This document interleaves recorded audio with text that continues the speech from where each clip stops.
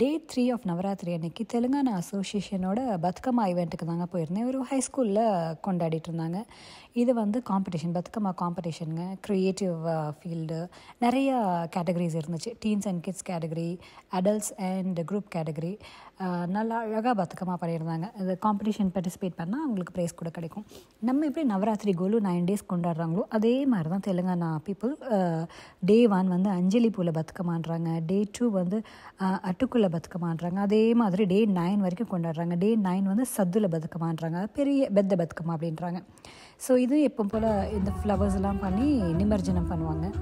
So இது வந்து என்னோடய ஸ்டூடெண்ட்ஸ் வந்து டான்ஸ் பர்ஃபார்ம் பண்ணது தான் அது ஸோ அழகாக பர்ஃபார்ம் பண்ணியிருந்தாங்க.